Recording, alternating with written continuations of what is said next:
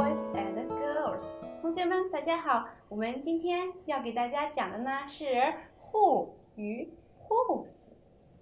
哎，我们上节课，哎，我们之前看到过 who，它是什么意思呀？它呀是谁？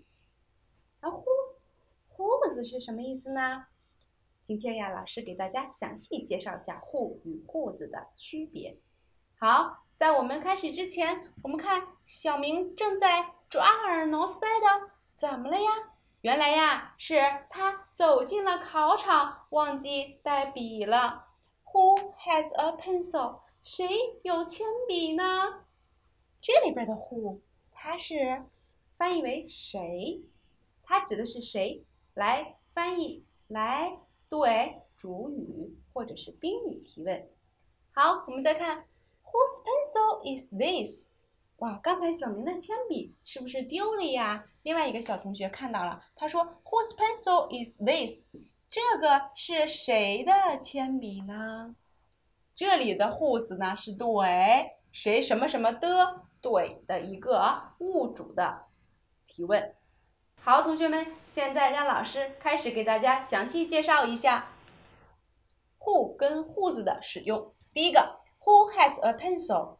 谁有一支铅笔？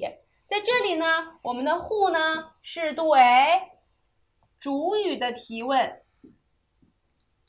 对主语提问，我们要用 who 翻译为谁？谁有一支铅笔？第二个句子，Whose pencil is this？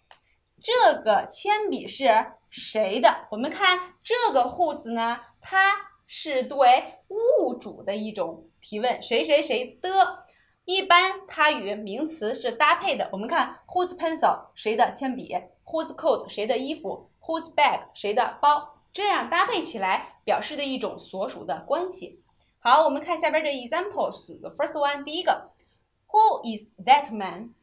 那个男士是谁？这里呢，它表示的是一种谁对主语的提问。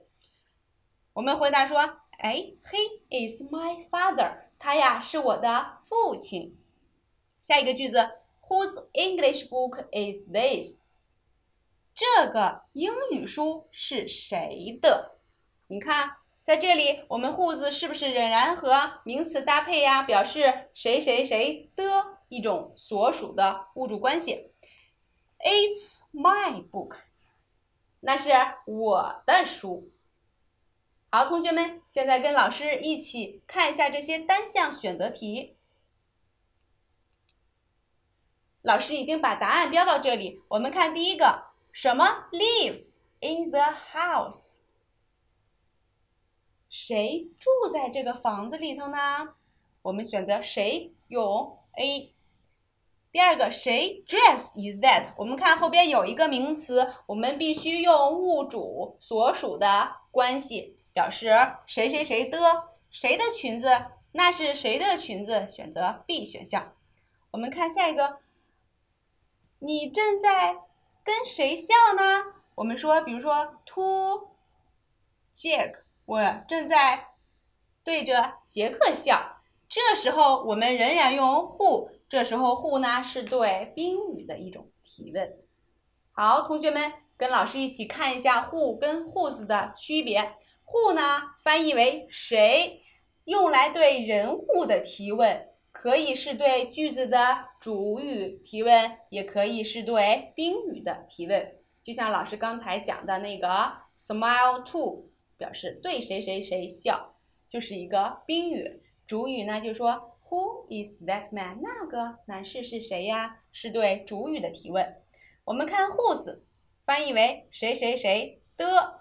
它是用来对物体的物主以及所有者进行提问，表示哎，这个物体是谁谁谁的？这是谁的呀？一定要与名词搭配使用。老师说，whose dress, whose bag, whose coat and whose pocket 都是必须与名词搭配，这样才表示一种的所属的关系。好，同学们，who 跟 whose。这两个疑问代词大家掌握了吗？我们今天呀就跟大家先讲到这里，下。节课再见吧，拜拜。